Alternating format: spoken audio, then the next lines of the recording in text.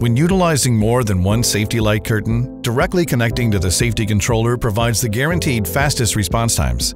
But sometimes you might want to connect the light curtains in a cascade configuration, which reduces the amount of wiring and connections at the controller. Typically, the trade-off with the cascade is each additional curtain adds its own detection delay, and as a result, safety signals can take much longer to get to the controller. But Banner Engineering's light curtains are built differently. Banner light curtains deliver cascade signals up to three times faster than competing products. This is a result of our unique design that only adds as little as 2 milliseconds for each additional light curtain in a cascaded chain. The faster response time means your machines require less safety distance between the light curtain and hazard. So, a machine hazard being safeguarded by banner light curtains can have a smaller footprint than the same machine utilizing non-banner light curtains. This can translate to a more efficient production environment where the same machines use less factory space, or a scenario where more machines can fit into the same factory space for greater productivity.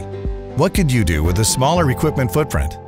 Speak to a safety expert today and learn if banner light curtains could reduce your machine footprint. Available at bannerengineering.com.